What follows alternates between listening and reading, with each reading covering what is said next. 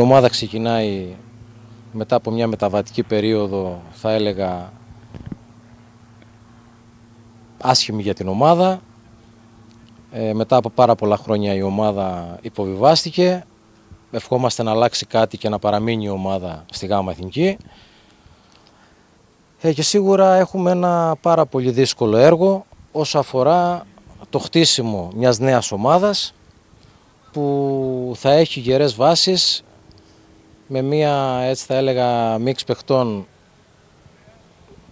έμπειρων και σίγουρα ταλαντούχων παιδιών που θα ρίξουμε πάρα πολύ έτσι το βάρος ε, στα συγκεκριμένα παιδιά που έχουμε επιλέξει να ανέβουν στην πρώτη ομάδα έτσι ώστε ο ΠΟΑ τα επόμενα χρόνια τουλάχιστον να καταφέρουμε να βγάλουμε κάποιους ποδοσφαιριστές που θα αξίζει να μιλάει ο ποδοσφαιρικός κόσμος για τα συγκεκριμένα παιδιά. Ε, και αυτό τους θυμάει τους παίχτες αυτούς που μείνανε, διότι παρόλο που είχαν δελεαστικές προτάσεις, δεν δεχτήκαν να συζητήσουν καν.